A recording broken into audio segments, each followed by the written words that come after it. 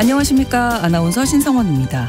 지난달 프랑스의 한 마을에선 시골 도로의 안내 표지판이 모두 거꾸로 뒤집혀 있어서 운전자들을 놀라게 하는 일이 있었습니다.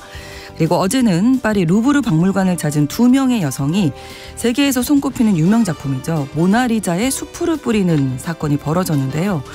누군가의 장난처럼 보이지만 두 사건을 벌인 사람들은 프랑스 농업 정책의 전환을 요구하는 농민들과 시위대였다고 합니다. 최근 프랑스와 독일 등 유럽에서는 농민들의 시위가 잦아지고 있는데요. 농민들이 행동에 나선 이유는 무엇인지, 우리 농업 현실과 공통점은 없는지 잘 살펴야 할 것 같습니다. 오늘 아침 전해진 국제사회 뉴스 잠시 후 오늘의 헤드라인 뉴스로 정리해 드립니다. 그리고 통신원 취재 수첩에서는 싱가포르 통신원 연결해서 현재 다양한 소식 살펴보겠습니다. 그리고 글로벌 이슈에서는 오는 3월 치러질 예정이죠. 러시아 대선과 관련된 심층적인 내용 준비했습니다. 1월 29일 월요일 KBS 일라디오 신성원의 오늘 세계는 시작합니다.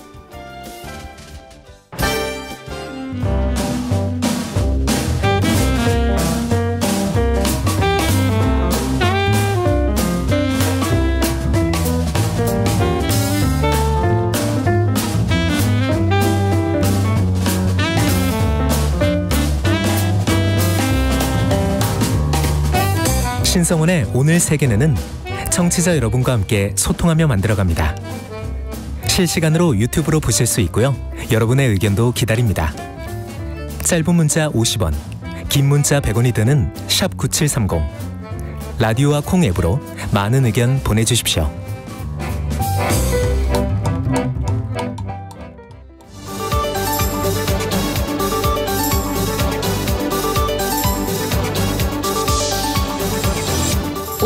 세계는 헤드라인 뉴스. 중동 요르단에 주둔하고 있는 미군 기지가 친이란 무장 세력의 드론 공격을 받았습니다. 28일 발생한 이번 공격으로 3명이 숨지고 최소 34명이 부상을 입었는데요. 가자지구 전쟁이 시작된 이후 미군이 숨진 건 이번이 처음입니다. 바이든 대통령은 책임을 묻겠다고 밝혔는데요. 중동 지역에서 확전 우려가 더 커지게 됐습니다. 튀르키예 이스탄불에 있는 한 성당에서 총격 사건이 발생했습니다. 28일 낮 11시 40분쯤 튀르키예 이스탄불 유럽지구 북쪽 사르예르 지역에 있는 산타마리아 성당에서 무장괴한들이 미사 중이던 신도들에게 총을 쏴 한 명이 숨졌습니다. 경찰은 용의자 두 명을 체포했는데 아직 정확한 범행 동기는 밝혀지지 않았습니다. 튀르키예에서는 지난달 교회와 유대교 회당 등에 대한 공격을 계획한 혐의로 테러 조직 IS와 연계된 30여 명이 체포됐었기 때문에 이번에도 극단주의자들에 의한 범행 가능성도 나오고 있습니다. 프랑스 정부의 농업 정책에 반발해 트랙터 시위를 벌여온 농민들이 수도 파리를 봉쇄하겠다고 예고했습니다. 프랑스 전국 농민연맹은 29일 오후 2시부터 파리로 향하는 모든 간선도로를 무기한 차단하겠다고 밝혔는데요. 프랑스 농민들은 비도로용 경유 면세의 단계적 폐지, 유럽연합의 지나친 환경 규제 정책, 수입 감소 등에 항의하면서 18일부터 고속도로와 국도를 트랙터 등으로 막는 시위에 나섰습니다. 아탈 총리가 26일 소 사육 농장을 찾아가 경유 과세 조치 취소 등 농가 지원책을 발표했지만 농민들은 부족하다면서 시위를 이어가고 있습니다. 미국과 중국 정부가 좀비 마약으로도 불리는 합성 마약 펜타닐 문제에 공동 대응하기 위해 첫 번째 워킹그룹 회의를 개최합니다. 미국 고위 당국자는 30일 열리는 이번 회의는 펜타닐 문제에 대한 양자 공동 노력 이행에 있어 핵심 부분이라고 강조했습니다.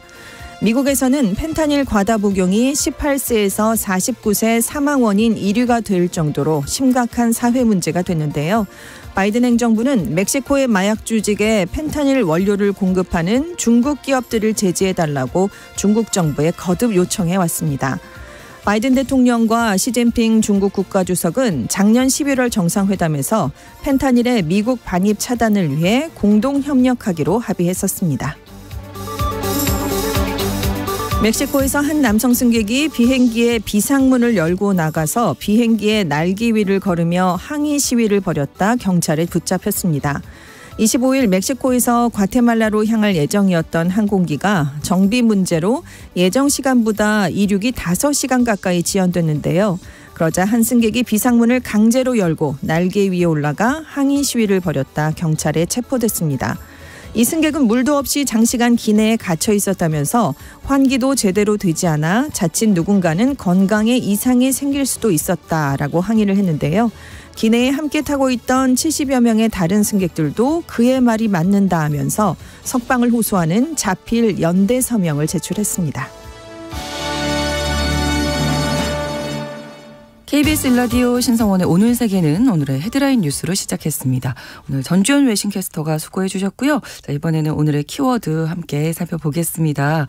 오늘 첫 번째 키워드는 이제까지와는 비교할 수 없을 것이다. 네. 네. 앞서 소개를 해드린 지금 미군이 사망한 소식 관련 얘긴데요. 네. 27일 밤에 시리아 국경과 가까운 요르단 북부에 있는 미군 주둔지 타워 22가 드론의 공습을 받았습니다. 이 미국의 우방이죠. 요르단에 지금 미군이 한 3천 명 정도 주둔을 해 있는데 이번에 공격을 받은 타워 22에는 시리아에 있는 알탐프라는 미군 주둔지를 지원하는 특수작전부대 그리고 군사 훈련병 요원들이 배치돼 있었습니다. 그래서 시리아, 이라크, 요르단 3개 국가 국경이 만나는 중동의 요충지였거든요. 네. 그래서 그동안 국제연합군 IS가 싸움을 벌일 때 아주 핵심적인 역할을 했던 그런 주둔지였습니다. 근데 이제 IS가 좀 세력이 약화된 이후에도 미국이 시리아에 한 900명 정도의 병력을 주둔시켜 왔거든요. 그런데 네. 이 알탄프 기지가 시리아 동부에 있는 친이란 세력 또 IS의 군사력 증강을 억제하는 역할을 맡아왔고 그 타워 22가 이 시리아의 알탄프 기지를 유사시에 지원할 수 있는 그런 좀 중요한 음. 그런 곳에 있는 주둔지였습니다. 일단 미국은 요르단에 있는 친이란 민병대가 공격 주체다라고 지목을 한 상황이고요. 있고요. 네. 이 공격에 대해서는 책임을 물을 것이다 이렇게 얘기를 했습니다. 자 이렇게 되면 이제 중동 지역에서 확전에 대한 우려가 높아질 수밖에 없거든요. 그렇습니다. 네. 작년 10월 7일에 이제 가자 전쟁이 시작이 됐고 그 이후에 처음으로 미군 전사자가 발생했다라는 점이 좀 중요한 건데요. 그동안 이라크 또 시리아에 있는 친이란 민병대 그리고 무장 단체들이 중동에 주둔해 있는 미군을 여러 번 공격한 적이 있습니다. 미군도 이제 대응을 했었고요. 하지만 그 과정에서 그래서 부상자는 있었지만 사망자는 없었거든요. 근데 미국 정부는 해외에 있는 군인 또 민간인 같은 자국민을 보호하는데 최우선 가치를 두었습니다. 네. 그런데 이번에 중동 지역에서 군인이 사망을 했기 때문에 그냥 가만히 있기는 좀 어려운 입장이 어, 됐거든요. 어, 그렇죠. 네. 그래서 일부에서는 이전까지와는 비교할 수 없는 수준의 그런 미국의 보복이 단행될 가능성이 있다 이런 얘기가 나오고 있는데요. 이렇게 중동 분쟁에 미국을 비롯한 서방 국가의 보복이 이어진다면 중동 확전은 불가피할 수 음. 있게 됩니다. 그리고 바이든 대통령이 지금 중요한 게 지지율이 굉장히 낮거든요. 그렇죠. 대선을 네. 앞두고 있는데 근데 직접적으로 대통령이 보복하겠다라는 걸 언급을 했기 때문에 중동 지역의 긴장이 전례 없는 수준까지 높아질 수 있다라는 우려가 커지고 있습니다. 걱정입니다. 네. 자, 두 번째 키워드로 2차 진화라고 네. 네. 말씀을 드렸는데요. 이스라엘이 하마스의 지금 지금 100명 정도 인질이 지금 억류돼 있는데 이 인질을 석방하는 대가로 가자 지구 전쟁을 2개월 정도 휴전하는 협상이 아, 네. 앞으로 2주 안에 타결될 것 같다라고 뉴욕 타임스가 보도를 했습니다. 네. 지난 열흘 동안 이스라엘과 하마스가 각각 이제 제안을 내놨었어요. 그래서 이걸 바탕으로 기본적인 틀을 만든 상황이었습니다. 그래서 서면 합의 초안이 진행되고 있었거든요. 아직 양측에 좀 풀어야 될 주요 이견들이 물론 물론 있습니다. 그렇지만 참가국들은 최종 합의가 좀 가까워진 게 아니냐 이렇게 판단을 하고 있는데요. 네. 지금 이스라엘 그리고 하마스 협상은 미국과 카타르, 이집트가 중재를 해서 간접적으로 이루어지고 있는 상황입니다. 일단 지금까지 알려진 합의안은 첫 번째 단계로 하마스가 여성, 고령자, 부상자 인질을 석방을 하고요. 이스라엘은 전쟁을 30일가량 중단하는 방안입니다. 네. 그리고 이제 두 번째 단계로 들어서면 하마스가 이스라엘 이스라엘 군인들 또 남성 민간인 인질을 석방하는 대신에 이스라엘이 추가로 30일가량 군사작전을 중단한다는 건데요. 이스라엘 교도소에서 풀려날 팔레스타인인 수감자 비율을 어떻게 할 것인지는 아직 협상을 벌이고 있습니다. 네. AP통신은 이 조건대로 합의가 실제 이루어지면 30일 동안 이어지는 1단계 휴전 기간 동안 그 뭐 세부 사항들을 더 논의할 수 있을 것이다. 인질 석방과 관련된 그리고 이스라엘이 가자 지구에 더 많은 국제 사 회의 인도적 구호 물자가 들어갈 수 있게 허용하는 걸 요구하는 내용도 포함될 수 있다라고 전했습니다. 일단 하마스가 인질을 풀어주면 영구적으로 휴전을 해야 한다라는 게 조건인데요. 네. 이 조건까지 이루어진 건 아니지만 이 전쟁이 일단 두 달이라도 멈추게 된다면 지금까지 방식으로 강도로 전쟁이 계속 이어지지는 좀 힘들지 않겠느냐. 네. 그리고 그동안 영구 휴전을 논의할 추가 외교 창구가 열리지 않겠느냐 이런 얘기가 지금 나오고 있습니다. 네. 좀 잘 진행이 그렇죠. 되면 네, 좋겠습니다. 그렇습니다. 네. 자, 세 번째 이야기는 모나 리자 순환 시대인데요. 네, 앞서 네. 오프닝에서 말씀하셨는데 농민 시위대가 모나리자 작품에 숲을 던졌습니다. 음. 28일이었고요. 지금 루브르 박물관에 있죠. 여성 두 명이 빨간색 그리고 노란색 숲을 이제 던졌는데 네. 프랑스의 농업 정책 전환을 요구하는 시위대였습니다. 모나리자 앞에서 예술과 건강하고 지속 가능한 식량에 대한 권리 중에 어떤 게 더 중요한가? 당신들의 농업 정책은 병들었다. 우리 농민들은 일하다가 죽어가고 있다. 이런 발언을 하고 식량 반격 이렇게 새겨진 티셔츠를 입으면서 무엇이 가장 중요하냐 이런 얘기를 했습니다. 근데 이제 모나리자가 이렇게 순환을 당한 게 이번이 처음이 아니죠. 그렇죠. 네, 1956년에 볼리비아 남성이 돌을 던져서 훼손된 적이 있습니다. 그 이후에는 이제 방탄유리로 덮여 있거든요. 그래서 이번에 수프가 끼얹어지긴 했지만 작품이 훼손되진 않았습니다. 그리고 재작년에는 한 남성이 지구를 파괴하려는 사람들이 외치면서 모나리자에 케이크를 던졌고요. 네. 2009년에는 프랑스 시민권을 얻지 못해서 화가 난 러시아 여성이 찻잔을 던지는 그런 일도 있었습니다. 일단 지금 프랑스 농민들이 그 농업 정책에 항의를 하면서 18일부터 트랙터 시위를 벌이고 있는데 네. 지금 시위는 더 거세질 것으로 지금 예측이 음. 되고 있습니다. 왜 이렇게 이런 시위가 벌어지는지 좀 그 이유가 네. 궁금하시죠? 네. 그럼 유럽 최대 농업국이 프랑스인데요. 음. 근본 원인은 역시 인플레이션 때문입니다. 그렇군요. 고물가 국면이 계속 벌어지고 있는데 원가 인하라는 걸 농가에 지금 대형 유통업체들이 전가를 하고 있거든요. 그러니까 농민들이 타격을 더 크게 입고 있고 네. 자국 농산물의 가격 경쟁력을 떨어뜨리는 수입산이 이제 그래서 많이 들어왔거든요. 그러니까 프랑스 농민들이 또 분노하게 된 겁니다. 그렇겠죠. 우리 살기 힘든데 음. 그리고 프랑스 농민 시위대는 농가의 소득을 그럼 보장해 달라. 농산물 수입도 제한을 해야 되고 비도로용 경유는 과세를 폐지해 달라라는 걸 지금 요구하고 있는 상황입니다. 네. 그래서 고속도로랑 국도를 트랙터로 막고 있는데 그러니까 이제 아탈 총리가 농가 지원책을 발표했어요. 근데 농민들은 122개 요구 사항 중에 극히 일부만 해결이 된 게 아니냐. 우리는 물러서지 않겠다라는 입장입니다. 그래서 29일 오후 2시부터 파리로 향하는 모든 간선 도로를 무기한 차단하겠다라고 밝혔고요. 네. 남서부 지역 농민들은 트랙터를 몰고 상경해서 파리 근교에 있는 도매 시장을 봉쇄하겠다 이런 계획을 내놨는데 프랑스 정부는 지금 군을 동원해서 이걸 막아보겠다, 오. 상경을 막겠다라는 또 강경한 입장이기 때문에. 예, 이게 충돌이 벌어지지 않을까 좀 우려됩니다. 네, 쉽게 가라앉지는 않을 것 그렇죠. 같은데요. 네.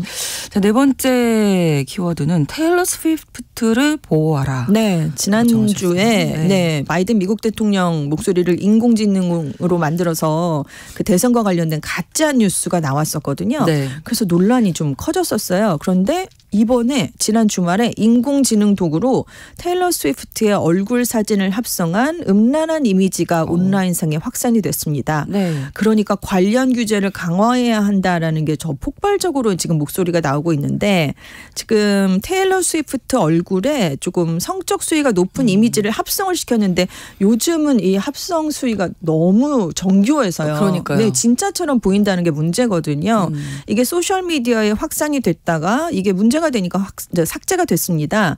주로 X를 통해서 공유가 됐어요. 네. 어, 뭐 다른 SNS를 통해서도 확산이 됐지만 이게 삭제되기 전까지 조회수가 4,700만 회가 넘어갔습니다. 이미 네, 이미 네. 손쓸 수 없을 정도로 빠르게 확산이 그러네요. 된 건데요. 그 스위프트의 팬들은 X가 해당 이미지 공유를 한때 방치를 했다. 굉장히 크게 항의를 하고 있어요. 그래서 테일러 스위프트를 보호하라라는 문장과 같이 네. 관련 키워드를 더해 올리면서 이미지 검색을 어렵게 만드는 작업에 나섰습니다. 그래서 지금 사이버 보안 업체 Reality Defender는 이 이미지가 AI 딥 러닝을 이용한 합성 기술인 딥페이크로 된- 생성된 것으로 보인다라는 얘기를 놔둔 내놨는데요. 네, 네. 아까 바이든 대통령 얘기도 해드렸지만 그 바이든 대통령 목소리를 닮은 그 자동 녹음 전화가 이제 그 유권자들에게 많이 걸려갔습니다. 어, 네. 22일에 네, 네. 통화 상대에게 당신의 표를 11월을 대선을 위해 아껴둬라. 이번 투표는 트럼프 공화당 후보를 다시 선출하게 만들 뿐이, 뿐이다. 오. 라면서 투표하지 말라라는 걸 권유하고 다닌 겁니다. 네. 그런데 이제 바이든 대통령이 정말 말도 안 되는 소리다라는 그런 문구를 굉장히 자주 쓰는 걸로 유명한데 이걸 또 사용을 하니까 지금 속은 유권자들이 좀 많았다는 거죠. 그래서 네. 이게 지금 올해 본격 대선을 앞두고 이걸 놔두는 게 과연 맞는 것이냐 이런 비판이 나왔는데 네. 이 테일러 스위프트를 이번에 건드렸기 때문에 전 세계적으로 엄청난 영향력이 있는 스타거든요. 그렇죠. 그래서 가짜 이미지를 생성하는데 더 강한 규제가 필요하다는 음. 목소리가 더 높아지고 있는 겁니다.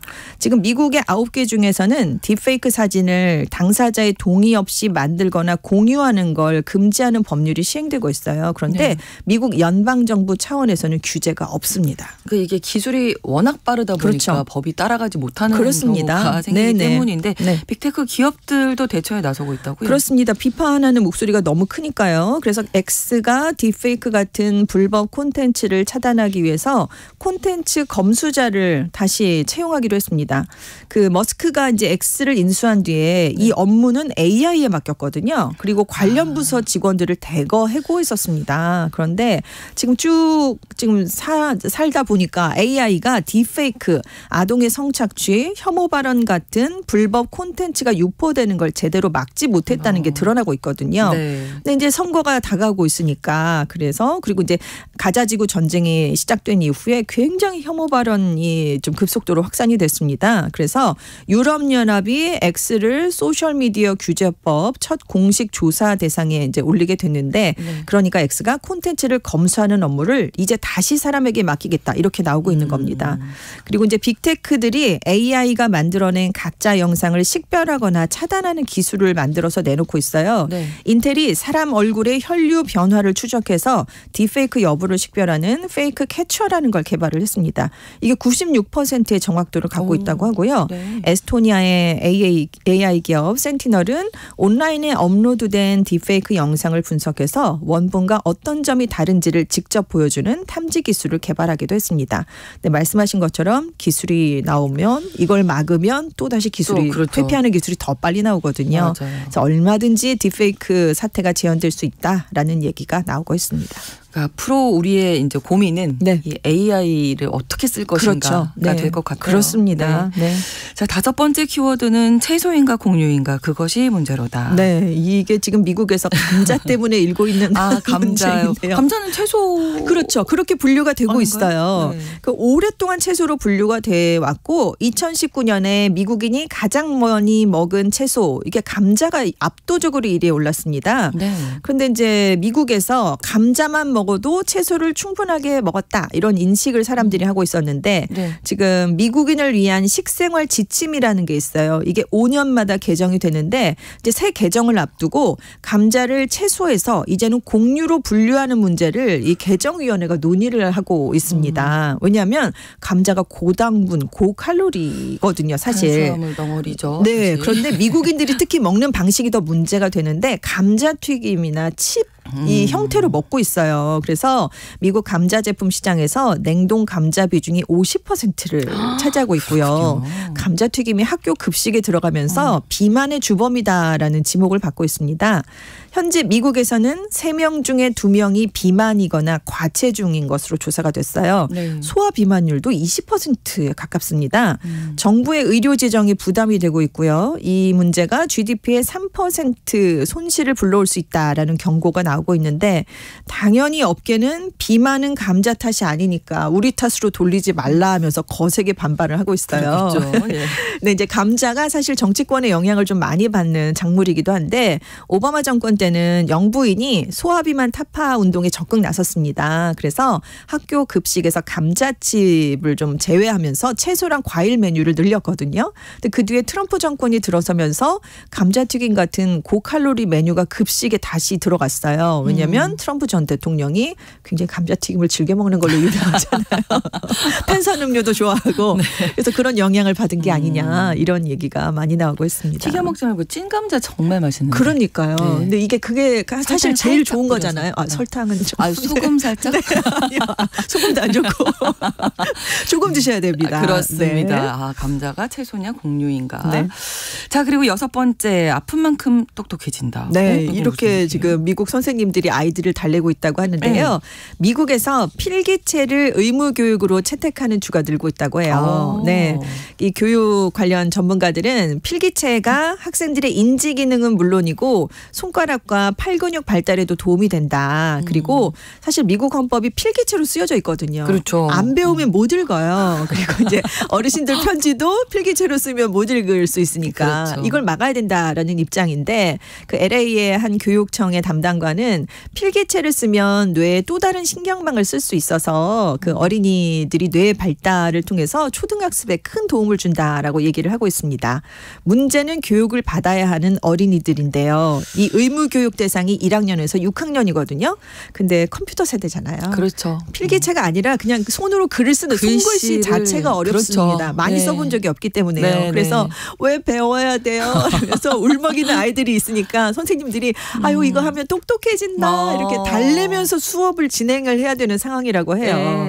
네. 근데 이제 앞으로 인공지능이 발달하면 필기체 수업의 가치가 더 커진답니다. 왜냐하면 그래요. AI를 악용한 표절이나 부정 행위가 늘어나는데 아. 이걸 막으려면 필기체 시험을 보면 좀 대안을 좀 극복을 할 수 있다는 좀 거죠. 알고 있어야죠. 필기체를 그렇죠. 어떻게 하는 건지. 그렇습니다. 예. 그리고 초등학교 교사들은 그렇지만 새 시대가 왔는데 거기에 맞는 교육법을 또 개발해야지 이렇게 음. 지금 필기체 교육을 한다고 이게 되겠느냐라는 반론도 만만치 않다고 합니다. 우리나라도 마찬가지일 것. 똑같습니다.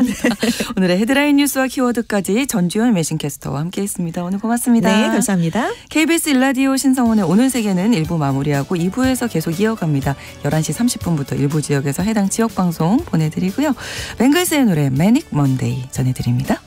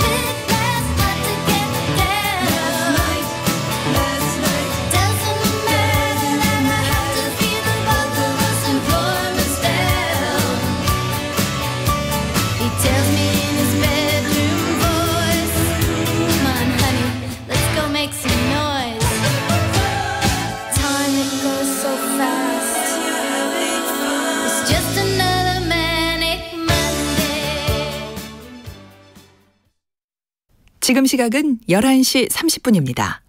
KBS Ladies and gentlemen, 국제사회의 다양한 뉴스를 한눈에. KBS 1라디오. 신성원의 오늘 세계는. 세계를 바로 보는 최소한의 투자입니다.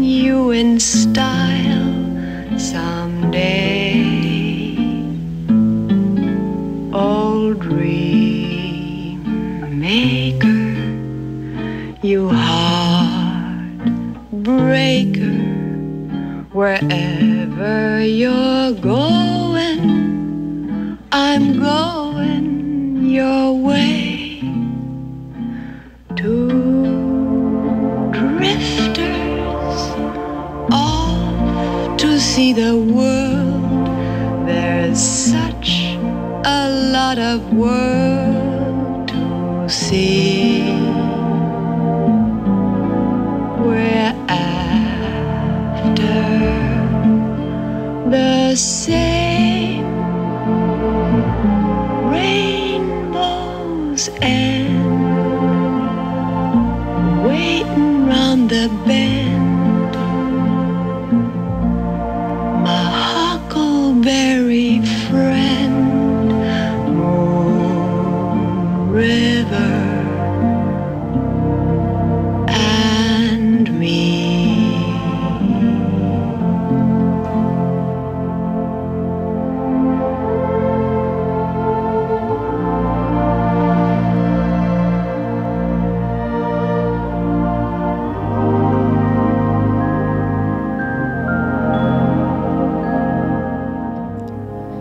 KBS 라디오 신성원의 오늘 세계는 2부 문을 열었습니다. 오드리 헵번의 노래 문 리버 함께 들으셨고요.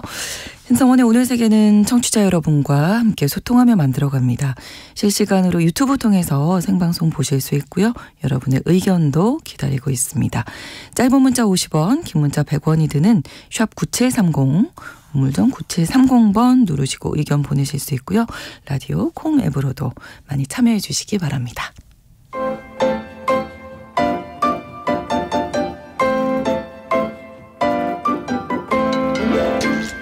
신원 취재 수첩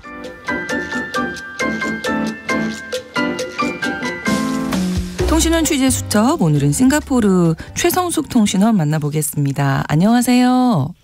안녕하세요. 싱가포르입니다. 네.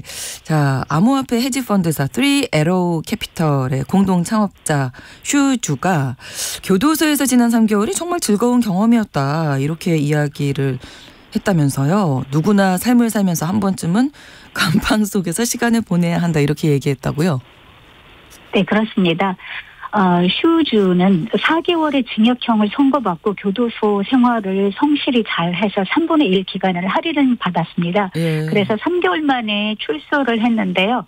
주는 자신과 동료 공동 창립자인 창립자인 카일 리빙스톤 데이비스가 출연을 해서 곧 공개될 팟캐스트에서 음. 자신의 감방 생활에 대해 언급을 했는데요. 가상화폐 스캠으로 전 세계에 전 세계에서 엄청난 부를 축적한 인물입니다. 음. 팟캐스트를 홍보하는 일부 발췌문이 지난 1월 22일 예전 트위터인 X에 공개되었는데요. 네. 한 동영상에서 36세의 주가 대담하게도 물론 그 누구도 교도소에 가고 싶어 하지 않겠지만 본인에게는 전반적으로 정말 즐거운 경험이었다고 밝혔습니다. 오, 네. 교- 네, 교도 소행 자체를 강력 추천할 정도는 아니지만 누구나 한 번씩 경험해 보면 분명 좋은 일이라고 생각한다는 거는데요. 주는 이 교도소 생활을 통해서 독서도 하고 많은 운동도 하고 또 매일 세 끼의 식사를 하고 중간에 간식으로 과일을 충분히 섭취할 수 있었다고 얘기했습니다. 밤 9시 30분에 불이 꺼지고 아침 5시 30분에 다시 불이 켜지기 때문에 잠을 정말 환상적으로 잘 잤다고 하는데요. 인터넷도 할 수 없고 술이나 커피 등을 안 마시기 때문에 바로 잠에 들 수 있었다는 겁니다. 네. 주는요, 이 교도소 동료 수용자와의 관계에 대해서도 설명을 했는데요. 어, 그, 이 수용자들의 삶의 경험을 듣고 공감하는 법을 배우기도 했다고 합니다. 수용자들이 그를 보통 사람으로 대했기 때문에 그들로부터 교도소에서 최고의 조언들을 얻기도 했다고 밝혔습니다. 네, 뭐 어떻게 보면 굉장히 긍정적인 분이구나 이런 생각도 드는데 어쨌든 교도소와 즐거움은 별로 안 어울리는 단어 조합이 아닌가 싶기도 했는데 사람들 반응은 어땠습니까? 이 발언에 대해서? 예, 어, X의 시청자 대다수는 주의 감옥 생활이 그가 생각하는 것만큼 쉽다고 믿지 않는 것 같습니다. 음. 한 X 유저는요, 어, 부정적인 경험을 긍정적인 경험으로 바꾸는 것은 참 대단한 기술인데요. 농담하지 말라고 이야기를 하, 하기도 했고요. 그렇죠. 또한 유저는 주가 그렇게 말한 유일한 이유가 아마도 싱가포르 교도소에 있었기 때문이지 아, 다음에 다른 나라 교도소에 가 보고 나서도 그가 그 똑같은 말을 할지 음, 의심스럽다는 그렇죠. 댓글을 달았습니다. 그렇겠네요. 네. 그리고 3개월 짧게 있다 나와서 그렇지 않나 뭐 이런 생각도 들고요. 자, 그리고 싱가포르에서는 정부 아파트 개념의 그러니까 공공 아파트라고 할 수 있겠네요. HDB를 구매하면 뭐 여러 가지 혜택이 있는데 이 젊은 35세 이하의 젊은 싱가포르 사람들이 고급 아파트 콘도를 구매하는 비율이 점점 늘고 있다고요. 예, 어, 콘도 사립 아파트가 워낙 비싼데요. 예. 어, 지난 2월 18일 싱가포르의 대형 부동산 중개 회사인 ERA Realty가 어, 백서를 발표를 했습니다. 네. 바로 그 고급 사립 아파트 부동산 시장에 시장에 대한 백서였는데 젊은 싱가포르인들의 신축 사립 아파트 매입 비율이 증가하고 있고 오. 또 전반적으로 신축 사립 아파트 매입자들이 젊은 편이라고 합니다. 실제로 2021년 이전만 해도 싱가포르에서는 젊은 사람들이 주택을 매입하는 경우는 사실상 없었습니다. 그런데 이런 신축 사립 아파트 매입자의 평균 연령이 2015년에 45세였고 2022년과 작년 2023년에 39세로 내려가면서 뚜렷한 하향 트렌드를 보이고 있는데요. 네. 비싼 고급 콘도미니엄이 국가에서 보조금을 주는 공공 아파트보다 더 매력적인 이유에 대해서는 많은 젊은층 싱가포르인들은 사립 콘- 콘도미니엄의 콘도미니엄이라고 하는 것이 어, 그들의 부를 늘릴 수 있는 음. 좋은 자산이기 때문이라고 합니다. 네.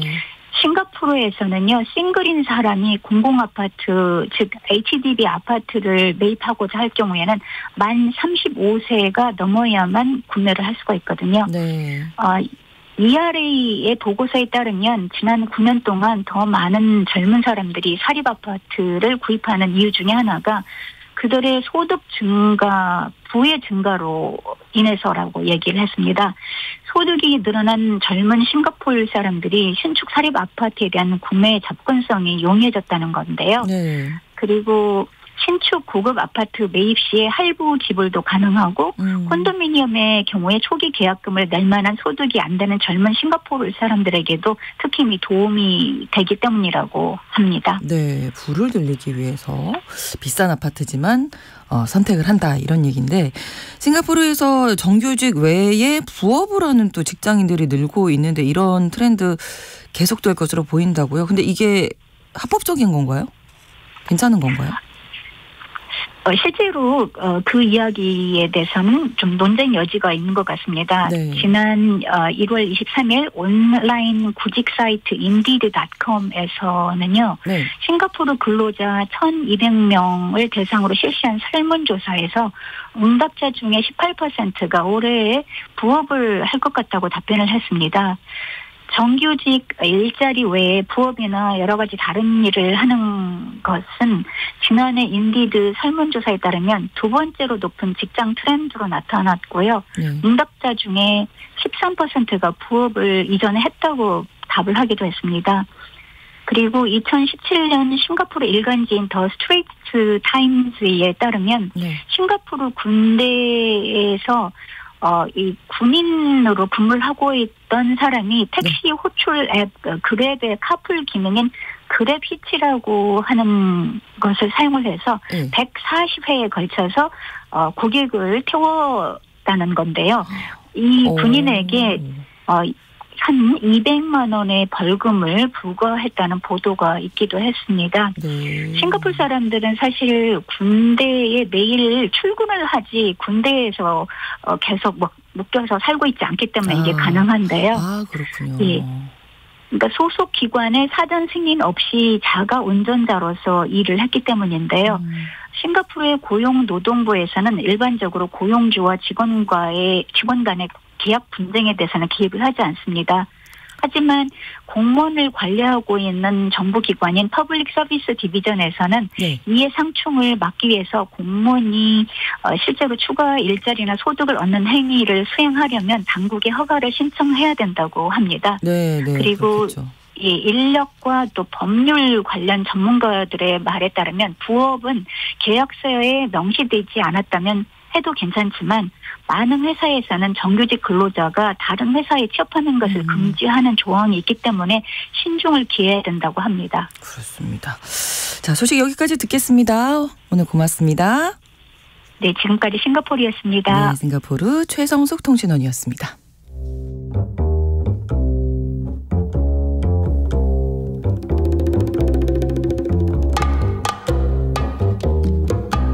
세계를 알면 우리가 보입니다.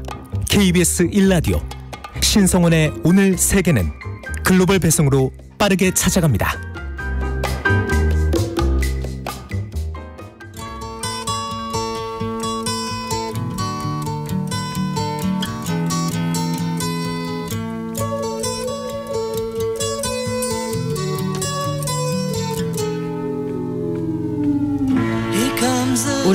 세계 70개 국가에서 크고 작은 선거가 치러지는 선거의 해죠. 그 중에서도 가장 큰 관심을 모으고 있는 선거, 뭐 미국 대통령 선거일 거고요. 또 러시아에서도 오는 3월 중순에 대통령 선거가 치러집니다. 블라디미르 푸틴 현 대통령의 승리가 기정사실로 받아들여지고 있지만 또 어떤 후보들이 푸틴의 아성에 도전하고 있는지도 궁금한데요. 자, 오늘은 약 50일 앞으로 다가온 러시아 대통령 선거 관련된 움직임 살펴보겠습니다. 오혜리 국제 전문 기자와 함께합니다. 어서 오세요. 네, 안녕하세요.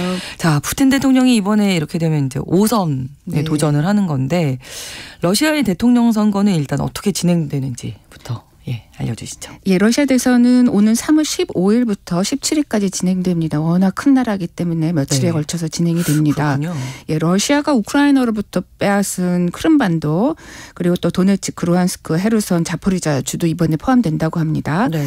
러시아에서 대통령 직접 선거가 치러지기는 소련 해체 이후 1991년부터 올해까지가 여덟 번째로 치러지게 됩니다. 네. 1차 투표에서 과반 득표자가 나오지 않게 되면 1, 2위 득표자가 2차 제 결선 투표를 치릅니다. 근데 이제 여덟 번 이번까지 여덟 번째인데요. 그동안에 결선 투표가 치러진 경우는 한 번밖에 없어요. 어. 1996년 대선 때입니다. 네. 이때 현직 대통령이 보리스 엘친 대통령이 출마를 했고 또 러시아 연방공사당의 당수인 게나디 주가노프라고 하는 사람도 출마를 했습니다. 네. 엘친이 아마 그때 좀 인기가 없었던 모양이에요. 어, 35 6.32%를 득표해서 1위를 하긴 했는데 아, 과반이 넘지 않아 과반이 안 됐습니다. 아. 그래서 결국에는 이자 결선 투표까지 가서 승리를 확정지은 적이 있습니다. 그렇군요.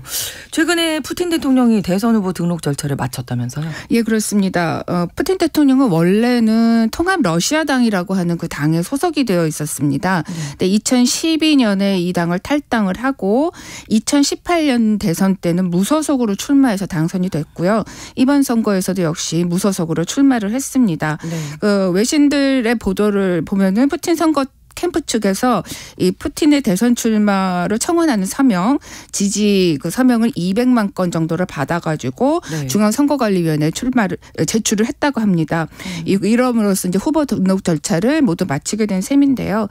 러시아 선거법에 따르면은 무소속으로 대통령 선거에 출마를 하려면 전국 40 개 지역에서 최소 30만 건 이상의 지지 서명을 받아서 이거를 선관위에 제출을 해야 합니다. 네. 어, 근데 원래 이제 원 내에 들어와 있는 정당의 후보 같은 경우는 이런 절차가 필요가 없습니다. 그 하원 선거를 통해서 다 이제 그 유권자들의 이 지지를 확인받았기 때문에 네. 대선 출마할 경우에는 이런 의원들이 출마할 경우에는 지지 서명 필요 없고 대신 이제 원외 정당의 후보가 출마할 경우에는 전국에 10만 명 이상의 에, 지지 서명을 받아야 합니다. 네. 에, 그 최종적으로 이 서명의 절차를 다 마치게 되면 네. 선관위에서 이 서명이 제대로 잘 이루어졌는지를 한번 체크를 하고요.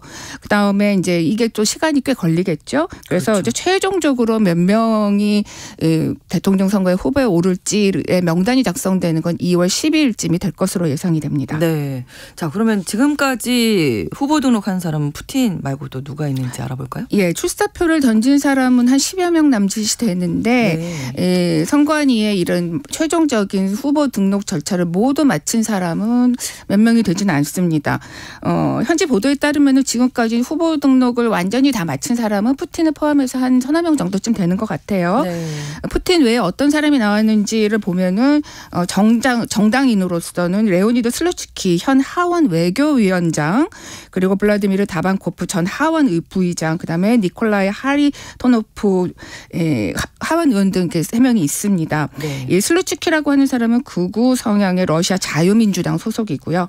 다반코프는 중도 우파 성향의 신인당, 신인민당, 하리토노프는 극좌 성향의 러시아 공산당 소속입니다. 모두 이제 원내 정당의 후보이기 때문에 이제 지지 서명 절차는 필요가 없습니다. 네. 에, 그리고 이, 이 사람들의 성향을 보면은 뭐 이미 기성 정치이기도 하기 때문에 뭐 당연히 러시아 중심적인 사고 방식을 가지고 있고요.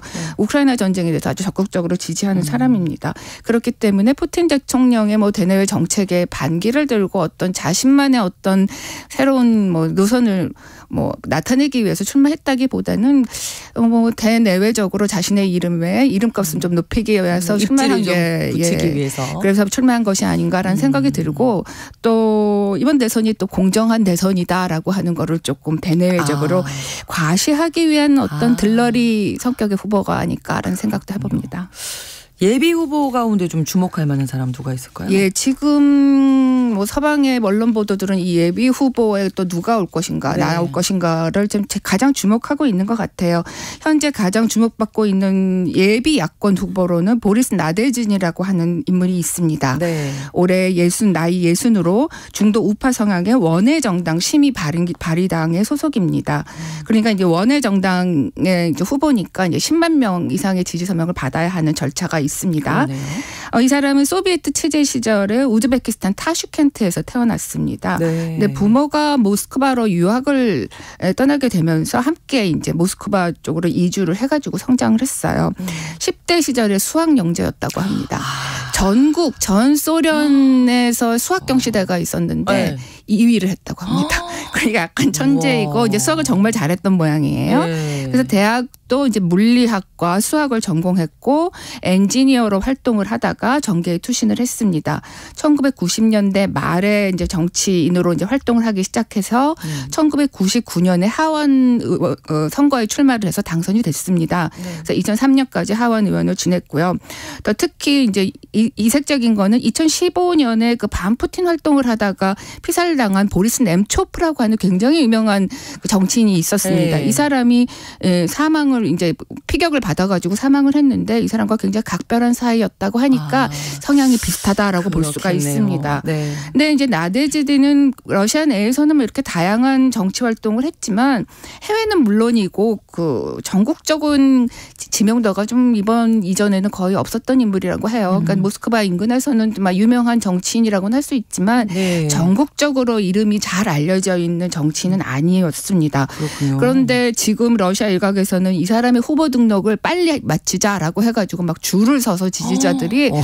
서명하겠다고 이 사람 네. 선거 선거 관리 어, 어떤 그 사무소에 뭐 줄을 네, 쓴 네, 네. 모습이 굉장히 화제가 됐어요. 어. 예, 이 최소 10만 명의 지지 서명을 받아야 하는데 벌써 이제 이걸 훌쩍 넘어가지고 네. 15만 명이 넘는 약 16만 명에 가까운 지지 서명 절차를 받았다고 합니다. 오. 그런데 앞서서 제가 그 선관위가 이제 지지 서명을 받으면은 이게 제대로 잘 있었는지 검사를 한다고 했잖아요. 네. 근데 그 중에 일부 또 착오가 생겨서 어뭐몇 명은 빠질 거를 생각해서 좀 더 여유 있게 이, 무, 이 서명을 받곤 하는데 나머지 기간 동안에 약 5만 명 정도를 더 받아서 아. 선관위에다 정식으로 이제 후보 정, 등록 절차를 마칠 예정이라고 합니다. 네. 왜 이렇게 관심이 쏠리고 인기가 좀 있어 보이는데 네. 이유가 뭘까요? 어, 제가 일단 막 10여 명 정도가 출사표를 던졌다고 했잖아요. 네. 근데 그 중에서 실질적으로 푸틴에게 저항해서 뭐 대항한 후보는 이 사람이 거의 유일합니다. 특히 우크라이나 전쟁에 대해서 굉장히 비판적이고 전쟁뿐만 아니라 푸틴의 그 대내 국내 정책에 대해서도 매우 비판적입니다. 네. 최근에 그 외신들이 그 나데지진의 선거 사무소를 이제 직접 찾아가서 서- 지지 서명을 하려고 이렇게 줄을 서 있는 사람들을 직접 인터뷰를 했거든요. 네. 그 중에서 많은 사람들이 이렇게 이렇게 추운 겨울에도 이렇게 추운 날씨 에 나설게 된 이유로 우크라이나 전쟁에 대한 자신의 반대 의사를 나타내고 싶어서 이 음. 사람을 지지하기로 결심을 했고 그래서 이렇게 지지 서명까지 나오게 됐다라고 아. 이야기를 했습니다. 좀 이색적으로 제가 봤던 거는 자녀를 세 명을 두고 있다라고 하는 어떤 여성이었는데요. 네. 이 전쟁을 가능한 빨리 멈춰야 된다라고 하면서 그래서 나데진을 지지한다라고 하니까 이 사람이 우크라이나 전쟁에 대해서 비판하고 있는 점이 가장 아마 지지를 모으게 되는 이유인 것 같습니다. 네. 이 러시아에서는 이 전쟁, 이 우크라이나 전쟁을 전쟁이라고 부르지 않습니다. 마치 뭐 홍길동이 아버지를 아버지라고 부르지 못하는 것처럼 네. 전쟁을 전쟁이라고 부르 지 못하고 음. 특수 군사 작전이라는 이렇게 애매모호한 표현을 하고 있어요. 근데 이 우크라이나 전쟁이 발발한 이후에 아예 법적으로 이 전쟁에 대해서 비판하는 목소리를 내지 못하도록 되어 있거든요. 그래도 이제 비판하는 사람들이 종종 있어서 약 2만 명 정도가 체포돼 가지고 처벌을 받았다고 합니다. 그러니까 아마 유권자 이, 이 사람을 나데지진을 지지하는 사람은 이 러시아 안에서 이 전쟁에서 비판적인 입장을 가지고 있는 사람들이 많다라고 하는 걸 보여주기 위해서 나서고 그러네요. 있는 것 같아요. 예. 자, 그럼 나대진인의 대선 공약 어떤 게 있는지 좀 살펴볼까요? 네, 군국주의 대신에 이제 평화를 에, 내세우고 있고요. 또 권위주의 대신 시민사회, 그 다음에 러시아의 고립이 아닌 유럽 국가들의 협력 이걸 음. 핵심 공약으로 내세우고 있습니다. 최근에 온라인상으로 대선 선언문을 발표를 했어요. 네. 거기를 보면은 뭐 그 대선 선언문에도 뭐 우크라이나 전쟁이라는 표현은 안 쓰고 특수 군사 작전이라는 뭐 이제 법적으로 허용된 용어를 쓰긴 했습니다. 네. 이 특수 군사 작전이 푸틴이 당초 국민들에게 약속했던 목표를 하나도 이루지 못하고 있다라고 비판을 하고 있고 네. 푸틴은 과거의 시점으로 이 세상을 바라보고 있고 러시아를 과거로 끌고 가고 있다라고 아주 강도 높게 비판을 했습니다. 며칠 전에 CNN하고 인터뷰한 거를 보니까 푸틴 대통령이 러시아를 군사화하고 있고 또 고립 고립의 길로 몰아넣고 있다면서 이걸 바꿔야 된다라고 아주 강도 높게 이제 목소리를 높였는데요. 네. 그러면서도 아 왜 자기가 이렇게 막 비판을 하는데 이렇게 자기를 체포하지 않는지 나도 모르겠다 이런 말을 했어요. 그래서 CNN은 그걸 제목으로 뽑았더라고요. 아, 예, 근데 일각에서는 어차피 푸틴이 에, 자신이 뻔히 이길 것이기 때문에 뭐 나대지진 정도쯤은 허용한 안 뭐. 편경은 안 쓰고도 있고 이 사람을 이렇게 허용해서 좀 음. 얘기를 뭐 이렇게 여러 가지로 하게끔 만 들므로써 네. 뭐 선거 자체를 굉장히 공정한 선거로 보이게 음. 만들려고 하는 게 아. 아니냐라고 하는 분석이 많은 것 같습니다. 근데 사실 그 러시아의 뭐 가장 유명한 반정부 운동가만 알렉세이 나발리잖아요. 네, 맞습니다. 수감돼 있잖아요. 예, 그러니까 뭐 당연히 이 사람은 대선에 출마할 수는 없고요. 네, 네. 어, 나발리는 뭐 극단주의 활동 또 무슨 불법 금품 뭐 수뢰 혐의 또 사기 혐의 이런 걸로 30년 형을 받고 수감이 되어 있 습니다. 네. 처음에는 모스크바 외곽에 있는 교도소에 있었는데 최근 와서는 아주 뭐 혹독한 겨울 날씨로 유명하고 예전부터 러시아 제국 시절 때부터 유명한 그 시베리아의 시베리아. 수용소의 뭐 제3 교도소라고 아. 하는데 여기로 이감이 됐다고 합니다. 네. 나발리 지지자들에 따르면은 나발리를 이렇게 먼 곳으로 보냄으로써 이제 나발리가 선거와 관련된 여러 가지 얘기들 뭐 이런 것들을 이제 면회온 사람들을 통해서 많이 전할 수 있는 그런 가능성을 좀 끊으려고 하는 것 같다라고 얘기를 하고 있습니다. 네. 그 로이터 통신 최근 보도를 보면은 어 나발리가 이제 그 제3 교도소 내 시베리아 교도소 내 분위기를 여러 가지로 이제 비판하는 네, 얘기들을 했는데 새벽 5시부터 강제적으로 푸틴을 칭송한 노래를 들어야 된다고요. 그리고 식사 시간도 너무 짧아가지고 네. 제대로 밥을 먹을 수가 없다고 하는데 맞아요. 나발리가 그 한국식 그 컵라면도 컵라면 먹, 먹고 못- 싶다고 어, 네, 넣고 싶다고 얘기를 했는데. 뜨거운 물을 부어서 먹으려고 하는데 그 너무 짧은 시간에 먹어야 하니까 뭐 입을 대었, 대었다. 그래서 맞아요. 이걸 뭐 고치려고 노력했는데 안 받아들여줬다. 근데 저는 진짜 소련에 아니 러시아에 네. 많은 이제 뭐 한국 제품들이 수출한다는 건 알았는데 예. 우리 컵라면이 지금 시레, 시베리아에서 그 교도소까지 들어간다는 건 몰랐어요. 근데 맞아요. 이 나발리가 이렇게 한국이라는 표현을 쓰진 않고 음. 이 컵라면의 제품명을 얘기를 했어요. 오. 그 제품명이 우리나라 제품이기 때문에 우리나라 네네. 보도들은 아, 한국 컵라면을 먹는다라고 하는 게 음. 보도가 됐습니다. 네. 근데 각종 보, 보도에 따르면은 나발리는 그래도 이제 나데지딘을 지지하는 여러 가지 입장을 밝히고 있고 음. 네. 특히 이제 뭐 자신의 지인을 통해서 나데지딘의 이 지지 서명을 빨리빨리 받아가지고 오.